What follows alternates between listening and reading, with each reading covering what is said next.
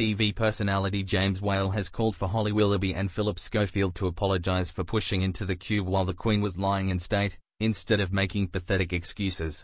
The outspoken personality addressed the queue scandal while demanding a proper apology from the duo, calling for them to be replaced by Eamonn Holmes and his wife Ruth Langsford if they don't.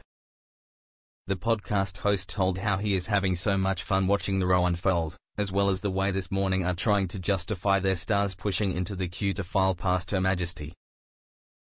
He went on, what on earth did Schofield and Willoughby think they were going to achieve when everything is filmed and on record? James added that the notion of the duo calling themselves journalists had him rolling around on the floor. The star went on to call for the return of the popular duo Eamonn and Ruth to make a return to the daytime ITV show if Holly and Phil don't apologize properly.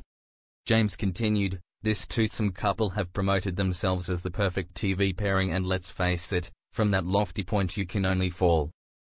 I don't expect they'll lose their careers over this but maybe they could just try being straight with us, apologize properly and not attempt to get out of it with these pathetic excuses. Otherwise, bring back Ruth Langsford and Eamonn Holmes. Frankly, I preferred them anyway, he wrote in his column for the Daily Express. The pair recently came under fire after being accused of jumping the queue to see the Queen lying in state. The presenters and ITV have since explained they held press accreditation as they were went to Westminster Hall for work but now a source involved in the press list has claimed that Holly and Phil's names were not actually on the press accreditation list. They explained there had been some hoo-ha before the two broadcasters could be ushered into the press ben. The source said, when they got there, their names weren't on the list so there were some discussions and, after some back and forth, Phil and Holly were given access and they were ushered through.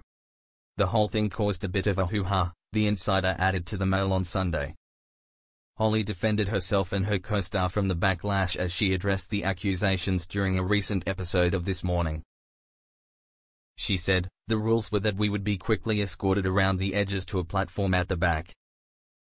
In contrast, those paying respects walked along a carpeted area beside the coffin and were given time to pause.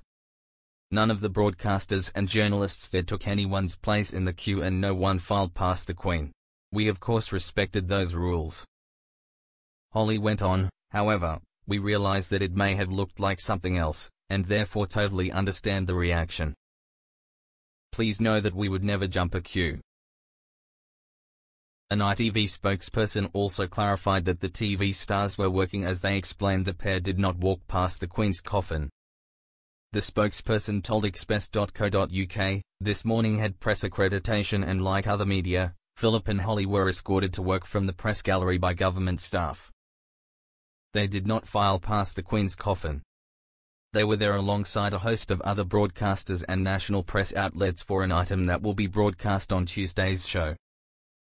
Any allegations of improper behavior are categorically untrue, they added.